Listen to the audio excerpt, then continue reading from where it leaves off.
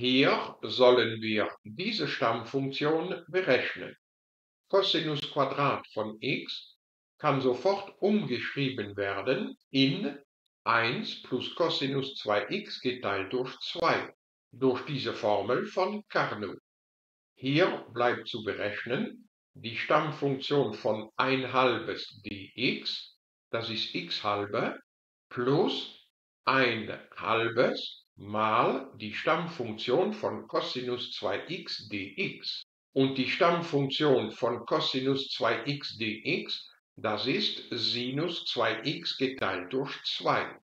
Also haben wir die gefragte Stammfunktion sehr schnell gefunden. Wer sich nicht erinnert an diese Formel von Carnot, der kann diese Stammfunktion trotzdem berechnen, und zwar partial. Cosinus hoch 2 von x, das ist dasselbe wie Cosinus von x mal Cosinus von x, und einer dieser zwei Faktoren Cosinus von x wird umgeschrieben in die Form Sinus prim von x. Hier haben wir die Stammfunktion vom Produkt von zwei Funktionen, von denen eine als Ableitung geschrieben ist. Das partiale Primitivieren besagt, man schreibe das Produkt dieser zwei selben Funktionen, aber ohne das Prim und ziehe davon ab die Stammfunktion vom Produkt dieser zwei selben Funktionen, wo aber dieses Mal das Prim auf die andere hüpft. Da. Cosinus Prim von x, das ist minus Sinus von x, das Minus setzen wir vor diese Stammfunktion. Mit diesem Minus da wird das dann zum Plus. Und hier bleibt dann Sinus von x mal Sinus von x, also Sinus im Quadrat von x.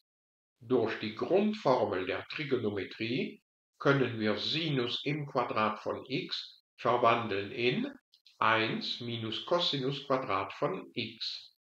Hier bleibt also zu berechnen die Stammfunktion von 1 dx, das ist x, minus die Stammfunktion von Cosinus Quadrat von x dx, also so.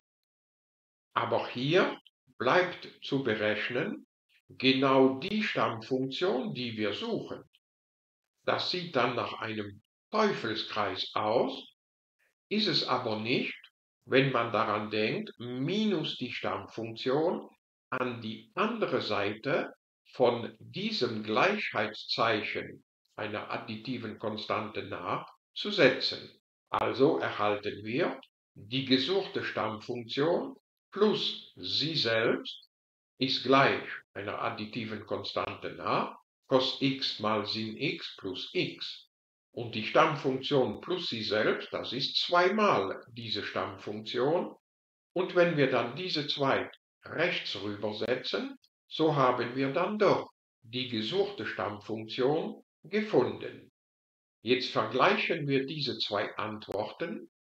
Wenn man hier die Verdopplungsformel vom Sinus anwendet, dann erhält man 2 sin x cos x und diese 2 kann dann noch gekürzt werden mit der 4 und so ist dieser Bruch genau derselbe wie dieser da.